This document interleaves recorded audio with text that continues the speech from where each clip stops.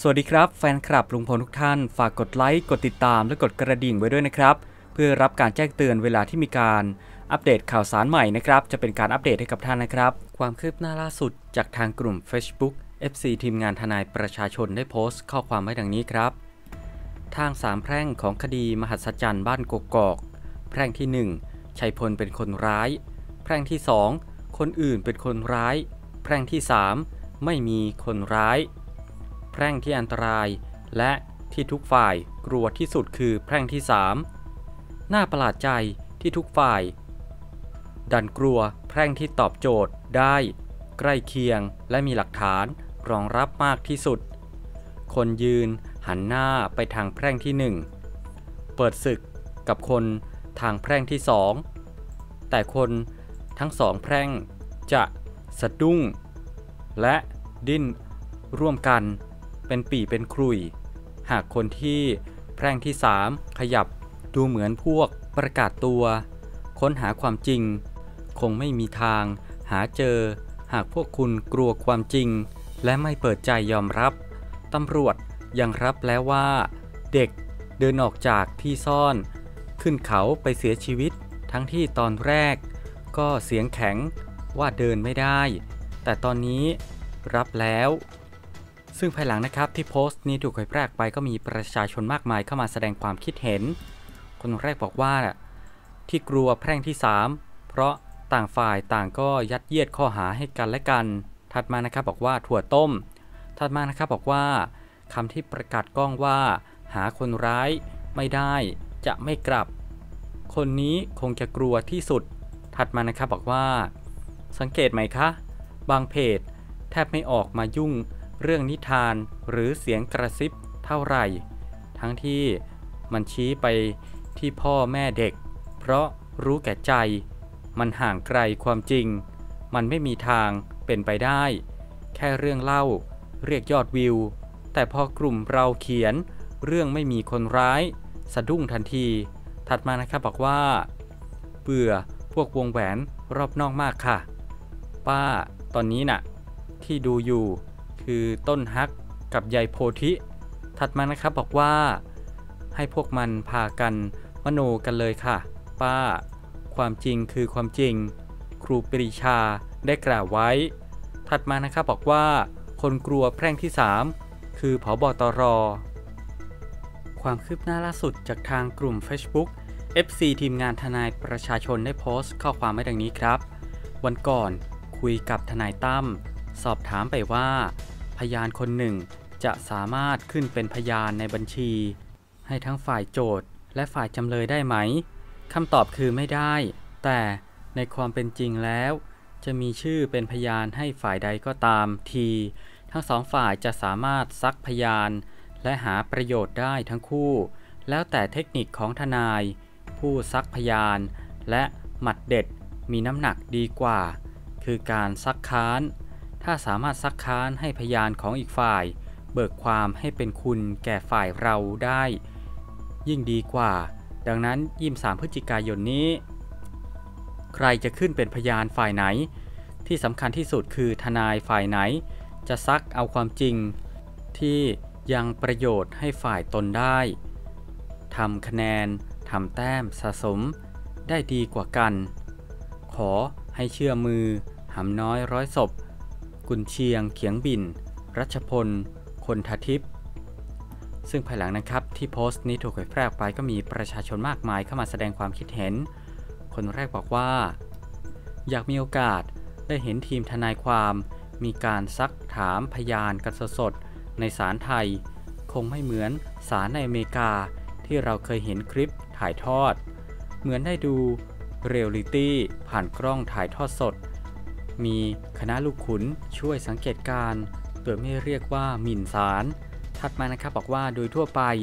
คนทั่วไปเข้าไปฟังได้ แต่บางคดีก็มีคนสนใจเยอะ เลยต้องมีการกำหนดจำนวนให้เข้าได้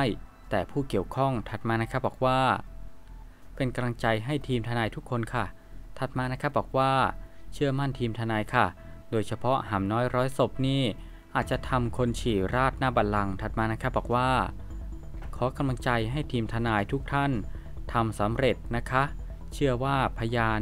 อยากพูดความจริง แต่ยังไม่มีโอกาสค่ะ ความคืบหน้าล่าสุดจากทางกลุ่ม Facebook FC ทีมงานทนายประชาชนได้โพสต์ข้อความไว้ดังนี้ครับมอร์นิ่งค่ะอีฉันไปฟังคนเล่าเรื่อง สยอง เสียงกระซิบจากนรก ฟังแล้วสะดุ้งแทนลุง ครอบครัว ยืนดู น้อง ตุ๊กตาแบตหมด น้องส่งเสียงร้องอย่างน่าสงสาร ลุงลุงหนูแน่นหน้าอก หายใจไม่ออก เด็ก ร้องเรียกให้ลุงช่วย แต่ลุงปล่อยให้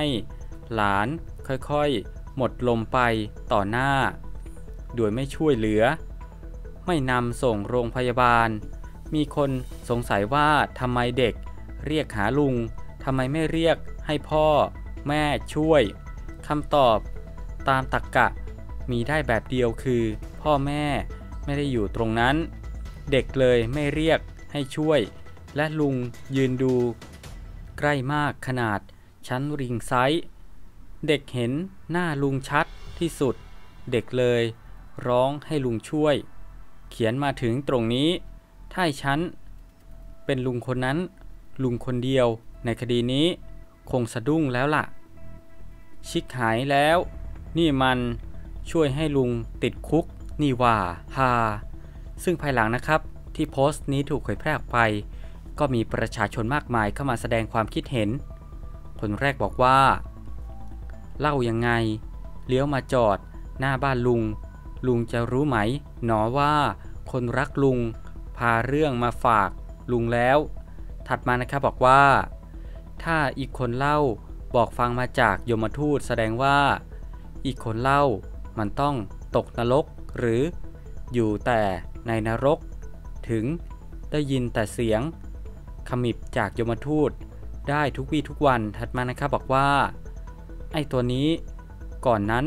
มันบอกรักลุงหนักหนา เงินซื้อมันได้ เมื่อก่อนมันว่าจะเขียนหนังสือสารเสริญ เมียหมอถัดมานะครับบอกว่า เมื่อไหร่พวกเขา จะเลิกเล่ากันสักทีทำไมไม่หุบปาก กันแล้วปล่อยให้เป็นเรื่องของศาลความคืบหน้าล่าสุดจากทาง Facebook ของคุณวีระหลงสมบุญได้โพสต์ข้อความให้ดังนี้ครับ